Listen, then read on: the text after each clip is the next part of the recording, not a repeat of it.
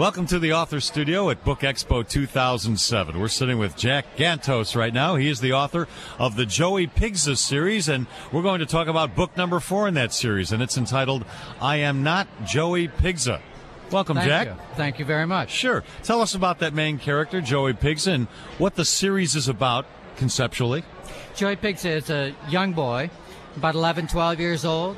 He's got ADHD, so he's a very active character, and he's got kind of a wacky, dysfunctional family. And it's Joey's journey through the series to really deal with some of the issues of, you know, his relationship with his mom, his dad, his grandmother, and himself too. Really trying to get himself right in life and feel comfortable in his own skin. All right, and the latest in the series, I am not Joey Pigza. What are the specific challenges Joey faces in this book?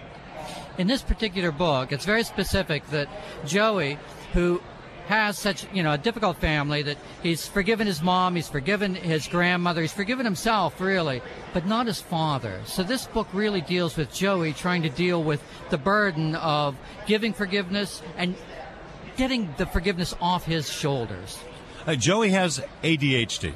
Yes. And I'm wondering what kind of research you've done, if there are any real life experiences that have allowed you and have prompted you to write a book about this.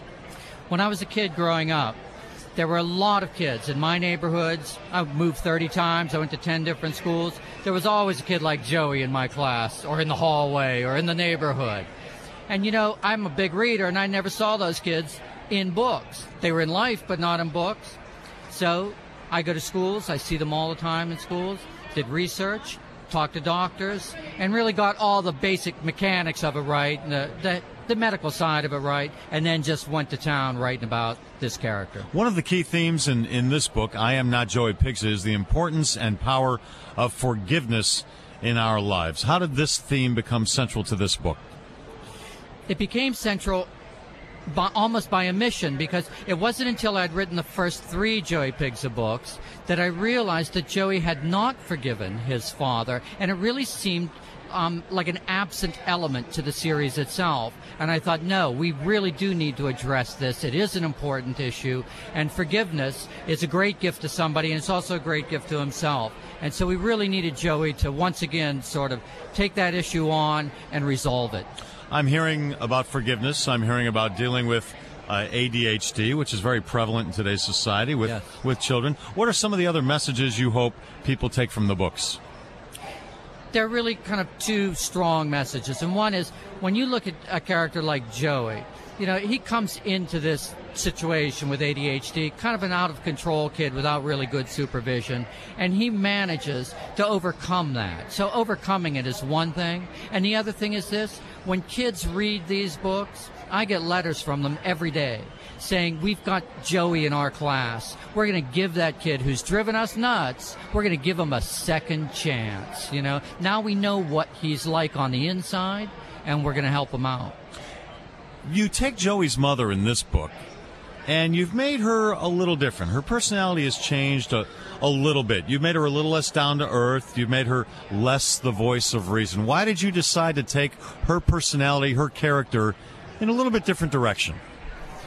One of the reasons, when, whenever you write a, a sequel or a series, it's not just Joey's series, it's the moms and the dad series as well, so everybody has to have a role. But in this particular case, the father comes back into the life with a little bit of money. They've never had money. And the mom is perhaps a little bit seduced by this easy cash that's taking place. And it's the money that sort of drives her out of her orbit, her normal orbit of life. But eventually she comes back, you know, she sort of cycles through it. And she does come back to a steady place, but she does get carried away. Would you call these children's books? What, what's your target audience here? They are children's books. But I have to tell you, these books are used in colleges for. They're used in communities. They're also used in, for teachers, for teacher in service as well. So it just seems like these books have really found a, quite a wide ranging audience, an audience that surprised me. But now that I see them coming to me and tell me why they use the books, then it all makes sense. All right, the author is Jack Gantos. Thank you, Jack. Thank you very much. And it's the latest in the series of Joey Pigza stories, and this one is called I Am Not Joey Pigza. Thank you. Thank you very much.